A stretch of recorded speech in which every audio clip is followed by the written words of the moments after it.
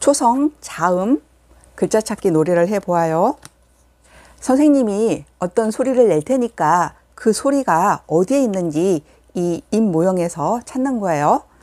자, 먼저 입을 꾹 다물고 무, 무, 무가 어디에 있을까요?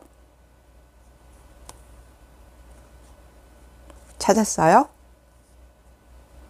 입을 꾹 다물고 무, 그쵸? 이번엔 여기 목구멍이 있어요. 혀로 목구멍을 꾹 막으면서 그, 그, 자, 그가 어디에 있을까요?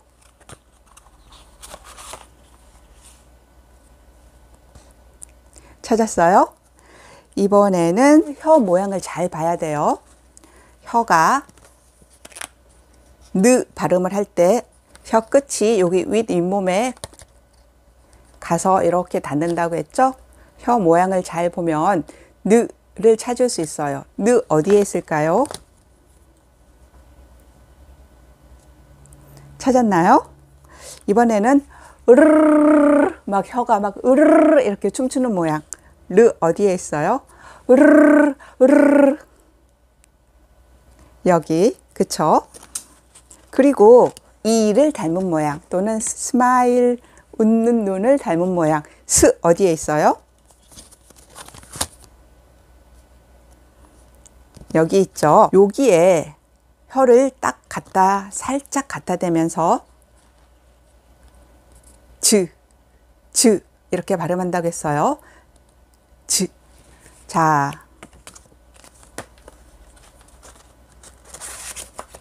즈가 어디에 있나요? 여기도 있고 여기도 있죠. 모두 찾았나요? 이번엔 한꺼번에 찾는 거예요. 자, 선생님이 입을 꾹 다물었다가 입술을 떼면서 무프프프 하고 말했어요. 무프프프가 어디에 있는지 여기 입 모형에서 찾아보세요. 여기에 있을까요? 여기에 있을까요? 찾았나요? 입을 꾹 다물면서 무프프프 어디에 있어요? 여기 있죠. 이번엔 이렇게 혀 끝을 이렇게 윗 잇몸에 갖다 대면서 느드뜨트 했어요. 자, 이렇게 느드뜨트 느드뜨트 어디에 있나요? 여기 있을까요? 여기 있을까요? 어디에 있어요? 여기 있죠. 여기도 있고 여기도 있어요. 이번엔 으르르 춤추는 르는 어디에 있어요? 으르르 으르르 춤추는 르는 어디에 있어요? 여기도 있고 여기도 있고 르는 항상 혼자네요. 이번엔 스, 스, 스 이 모양을 담기도 했고 스마일 웃는 눈을 담기도 한 스, 스 어디에 있어요? 잘 찾아야 돼요. 숨어 있어요. 어디에 있어요? 스, 스 여기에 있죠. 혀를 여기에다가 갖다 대면서 내는 소리 즈, 쯔, 츠 어디에 있어요? 혀에도 있고 여기에도 있죠. 이렇게 갖다 대면서 즈, 쯔, 츠 이렇게 발음을 하는 거예요. 다 찾았어요, 우리. 그러면 선생님이 소리를 내지 않고 입 모양만 말을 할 테니까 그 소리를 내주는 거예요. 알겠죠? 여기서부터 입 꾹 다물었다가 떼면서 내는 소리 뭐예요? 무브뿌프 맞췄어요? 와 천재. 이번엔 여기 소리를 낼 거예요. 뭐예요? 다시 한번 혀 끝으로 여기를 갖다 대면서 내는 소리. 뭐죠? 느드뜨트. 그리고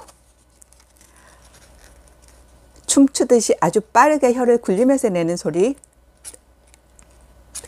뭐예요? 느 맞췄어요? 느는 항상 혼자.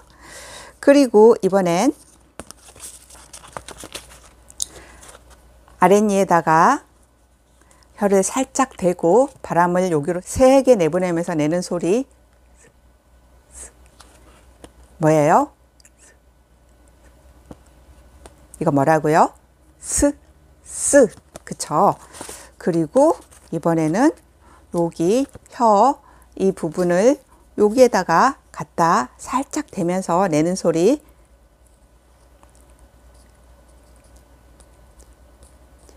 뭐죠?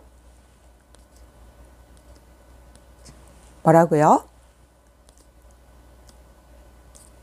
즈즈츠 맞췄어요? 네, 여기 즈즈츠 여기도 즈즈츠가 있어요. 혀로 목구멍을 꾹 막았다가 떼면서 내는 소리 뭘까요? 뭐라고요? 그, 끄, 크. 그쵸? 이거 뭐라고요? 그, 끄, 크.